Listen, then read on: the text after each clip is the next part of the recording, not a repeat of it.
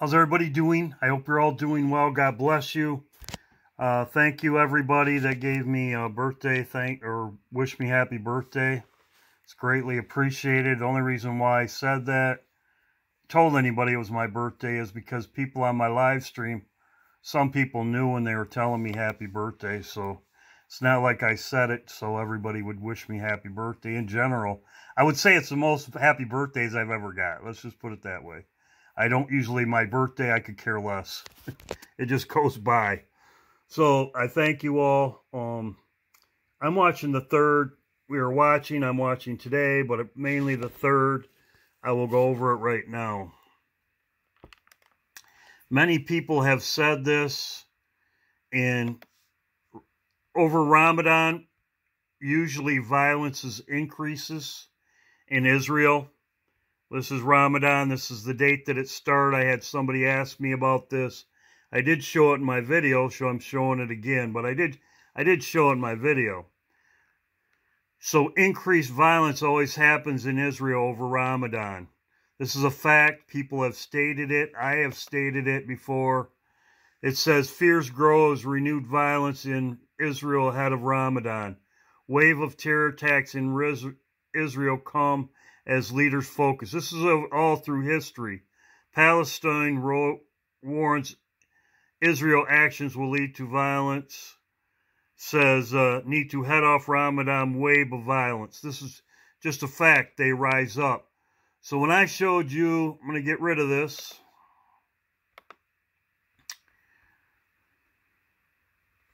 When I showed you this in iPet Goat, the moon phase, was right in here, the moon phase right there.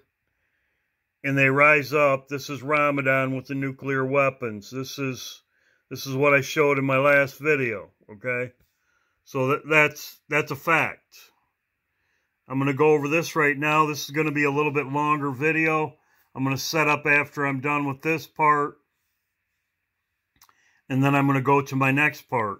I'm I, because anyway, I'm I'm going to go over this right now. As you can see the house on fire, you even see fire in his head. And I have said this, you see fire in his head. Looks like fire right here. I have said this before. Looks like fire. There's the house in the background. It's on fire.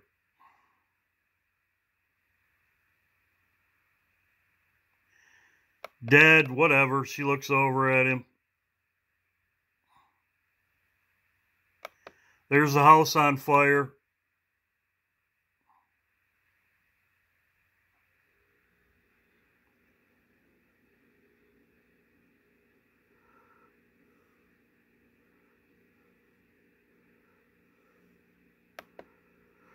As you can see, the house on fire. There's Trump laying on his back. As you can see, it's on fire right here. Well, it just happens to be that it says right here at Trump's rally. They are worried about security. It says right here, it says Trump's rally at Michigan has fire officials scrambling. Very interesting. It says fire officials scrambling right here.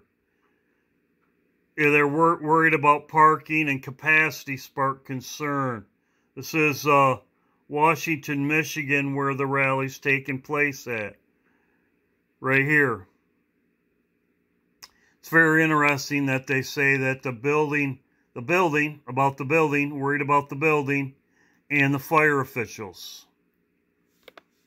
There's a building, and there's a fire, and there's fire in his hair, and he's laying on his back. It's very interesting. So, like I say, you can see the fire right there. It looks like fire. The building on fire. And they're talking about this right here. Fire officials scrambling right there. So, like I said, here's the date, here's the time. I'm going to put this with the rest of my video. Um, the rest of my video is about what God wants in our life. The true worshipers, as Jesus said, and I will set up for that now. Yes, this is the most important thing. As I have said before, Jesus said, when you pray, go in your closet, pray to the Father in secret. The Father that seeth you in secret rewards you openly. This is Matthew chapter 6. It's also the Lord's Prayer in Luke. And it says right here in Luke, it says, What is spoken shall be spoken and heard in the light, which is ye are spoken in the ear in the closet, says spoken in darkness and the and heard in in the light, which is shall be spoken in the ear in the closet, shall be proclaimed on the housetops. This is this is where praying to the Father every day, praying the Lord's Prayer, as I've said, right here is the Lord's Prayer. I just put it on here to make it more visible. Pray to the Father, hallowed be thy name thy kingdom come. This is when this is praying to the Father about the kingdom. We are praying to him for the kingdom to come. This is every day. Thy will be done on earth as it is in heaven. This is exactly what the Father wants. He wants you to pray to him in secret every day. Give us our daily bread. Thank him for the food. You're thanking him for the food. When the when the Israelites came out of Egypt, I was going to have a longer video, but when the Israelites came out of Egypt, God gave them manna every day. They were thanking him every day for the, the bread they gave him every day. Jesus also said, he is the bread of life. Give us our daily bread.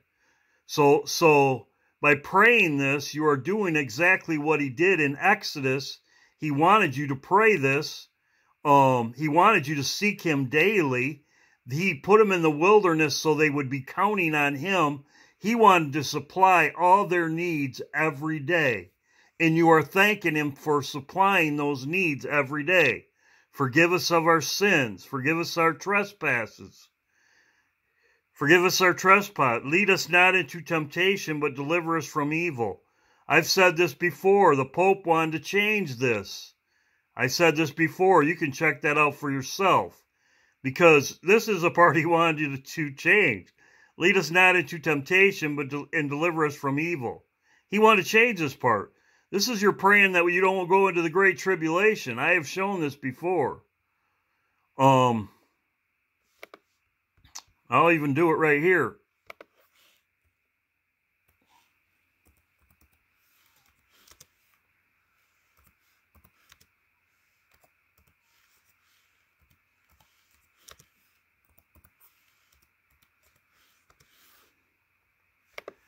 Right here. Pope Francis reportedly wanted to remove to the worship words in the Lord's Prayer known as insist lead us not into temptation. This is a tribulation. It tells you how evil these people are. God wants you to pray. Jesus told you to pray this, and the Pope wanted to change this. It just shows you Jesus even said, This is the true worshippers. Have I said before? Your fathers worshipped in the mountain. This is Mount Sinai that she was talking about. Your fathers worshipped at Mount Sinai. And this is what he she he was she was talking about. And you say Jerusalem is the place to worship. Jesus said unto you, Woman, believe me, the time cometh that is is and is in the mountain nor in Jerusalem, neither one of those places worship the Father. You worship, you don't know who you worship, but we worship salvation of the Jews. This is salvation. This is us. But the hour cometh that it is now when the true worshippers shall worship the Father in spirit and in truth. The Father seeketh such to worship him. We have the Holy Spirit. We can we we can go right to the Father as Jesus told us to in Matthew chapter 6 to pray to the Father in secret. This is a personal relationship. This is every day. And this is exactly what happened in Exodus when God brought them to Mount Sinai to worship him. They didn't have the Holy Spirit. So he physically had to be there. He physically was there when they were worshiping him on the mountain. And that's what she's talking about here. We don't need the mountain. Jesus says right here, in Luke, it says, what is said, what is spoken in darkness shall be heard in the light, and which is spoken in the ear in the closet shall be proclaimed on the housetops, on the mountain, on the housetop.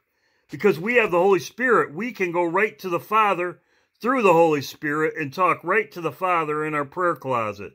This is exactly what Jesus was talking about, and this is the true worshipers. So I was going to have a longer video on this. I was going to have a video about uh, Exodus, and and I do have a question for you. Anybody that that why was Aaron spared? Why was Aaron spared in Exodus? And I was going to show this in my video. Why was Aaron spared when he made the calf, the golden calf, when when Moses was gone and he came back? And all the people that worshiped the calf were killed except for Aaron. Answer that question for me. You people that want think you know everything. And I don't think I know everything. But that is a good question to ask. Why was Aaron spared? Because every he built he made the calf, the golden calf. That's that's that's Moses's brother. And if you know what I'm talking about, Moses the most important thing is worship. And that's why they were destroyed.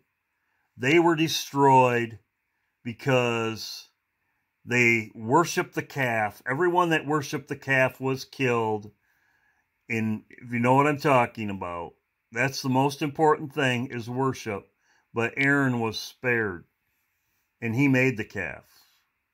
Aaron was also the high priest in the tabernacle. And that's in Exodus Aaron was the high priest. He was the oldest brother of Moses. And uh, that's just one question for you. So, that's the end of my video. God bless. Hope you're all doing well. And uh, I was going to go over that, but that's a good question for for people. Why why was why was Aaron spared when uh, everybody else was killed for worshiping the calf and went in the pit. God bless. And this is the end of my video. Yes, like I said, that's what I'm watching. I'm watching the third. Um, tomorrow we'll see what happens, but uh, we'll see. We're on high watch. God bless.